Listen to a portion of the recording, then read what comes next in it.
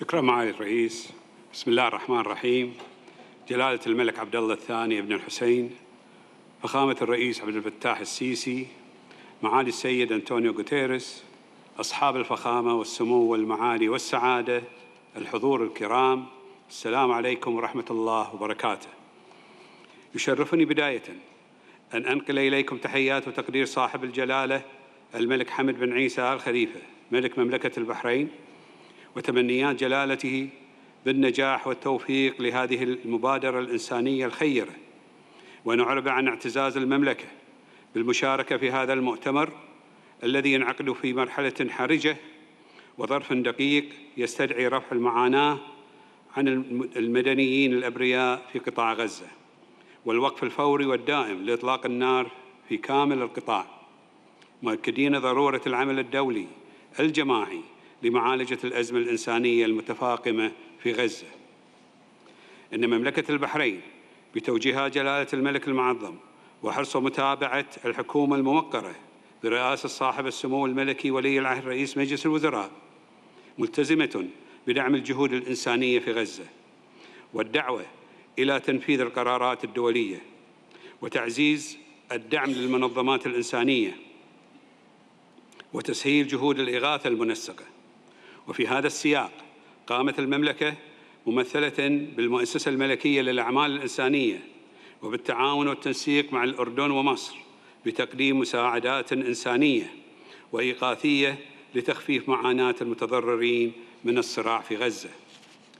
كما تؤكد مملكة البحرين على الأهمية الحيوية لتحقيق تقدم سياسي ودبلوماسي لإنهاء الأزمة المتفاقمة في غزة وتؤيد كافة الجهود الهادفة إلى الوقف الفوري لإطلاق النار وتعزيز السلام في المنطقة وتدعم المبادرة الأخيرة التي أعلنها فخامة الرئيس جو بايدن رئيس الولايات المتحدة الأمريكية.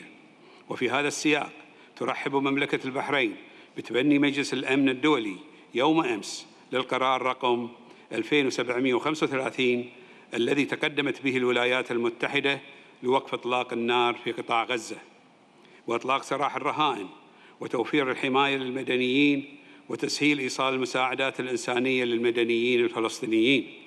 وتؤكد على أهمية قبول إسرائيل وحماس بتنفيذ بنود القرار ومساندة المجتمع الدولي والأمم المتحدة لهذه الخطوة الإيجابية التي من شأنها أن تنهي معاناة المدنيين الأبرياء. لقد تبنت القمة العربية التي عقدت في البحرين في 16 مايو الماضي المبادرات التي تقدمت بها المملكة ومنها الدعوة إلى عقد مؤتمر دولي للسلام في الشرق الأوسط لإقامة الدولة الفلسطينية المستقلة والآمنة وذات السيادة والقابلة للحياة. وأعربت مملكة البحرين عن استعدادها لاستضافة هذا المؤتمر. وأيد القادة العرب كذلك مبادرات أخرى لدعم جهود الاعتراف بدولة فلسطين وقبول عضويتها الكاملة في الأمم المتحدة فضلا عن توفير خدمات التعليم والرعاية الصحية الأساسية بالتنسيق مع المنظمات الدولية للمتضررين من الصراعات وخاصة الصراع الدائر في غزة. وتناشد مملكة البحرين المجتمع الدولي الاستجابة لهذه الدعوات من أجل السلام ودعم هذه المبادرات الرامية إلى إيجاد حل سلمي في غزة. فلنعمل معا بلا كلل. من أجل تخفيف معاناة الشعب الفلسطيني واستعادة الأمن والاستقرار في المنطقة ودفع المفاوضات نحو السلام العادل والشامل لصالح جميع شعوب المنطقة. لقد اطلعنا على قائمة الاحتياجات للاستجابة الإنسانية الفورية لغزة وتدعم مملكة البحرين برامج المساعدات المقدمة لهذا المؤتمر وسوف تقوم المؤسسة الملكية للأعمال الإنسانية بدراستها لتحديد مساهمة مملكة البحرين وموافاة الأمانة العامة للأمم المتحدة بذلك. شكرا لكم على اهتمامكم وجهودكم. والسلام عليكم ورحمة الله وبركاته.